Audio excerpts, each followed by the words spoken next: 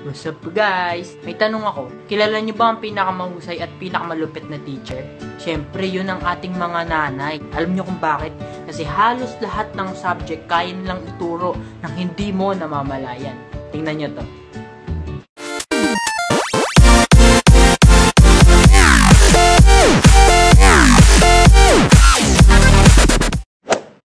Hoy, ikaw, wala ka nang ginawa dito sa bahay ah. Maglinis ka ng kwarto mo. Puro ka computer. Papatayin ko yung computer na yan. Ano? Isa. Opo. Ah, dalawa. Papatayin ko na po. Wait lang. Dalawat kalahati.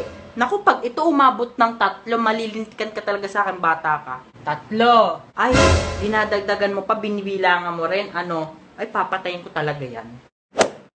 Lahat ng sinasabi ko, ipasok mo sa tenga mo para makaintindi ka. Hindi yung nagdadsalita ako, ikaw di ka nakikinig. Parang cotton buds to, ipasok mo ka. Ipasok mo sa tenga mo. Grabe naman ma. 20 lang. 20 lang tong baon ko. Korneto lang mabibili ko dito eh.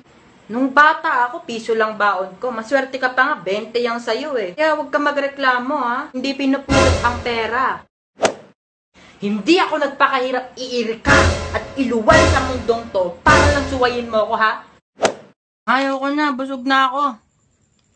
Ubusin mo yan. Kada butil ng kinakain mo, pinagpagura namin ng tatay mo. Dugot pawis namin yan, kaya wag mong sasayangin yan. Ubusin mo yan, dapat simot na simot. Yung plato na parang hinugasan. Ang tanda-tanda ko na mo, hindi na ako bata. Ah, matigas na buto mo. Sobra-sobra ka na sa calcium. Yung bungo mo matigas na.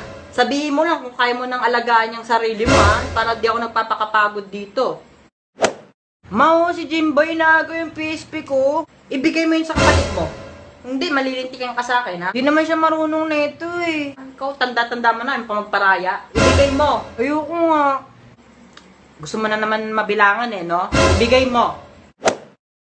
Sumagot ka kapag kinakausap kita, ha? Eh kasi mami, ah, sumasagot ka na ngayon, ha? Sumasagot ka na. Kailan ka pa natutong sumagot? Kanina lang, sabi niyo po kasi sumagot ako. Ma, nakita mo yung remote? Nandyan lang yung remote. Hanapin mo dyan. Asan ba yun, ma? Naku, pag hindi mo nakita, makikita mo hinahanap mo. Ah, ano daw? Ma, di ko mahanap yung remote. Mata kasi ginagamit sa paghahanap, hindi bibig. Ma, bagsak po ko sa mat. Bagsak ka na naman. Manang-mana ka talaga sa tatay mong unggoy. Hindi ka gumaya sa nanay mong magaling. Matalino. Ano si mama feeling? Tumakbo ka na. Siguraduhin mong di kita abutan, kundi lintik ka. Kita mo to? Plaplak da sa mukha mo to. Sasampal ko sa'yo talaga to. Ha? Ha? Ha? You watch me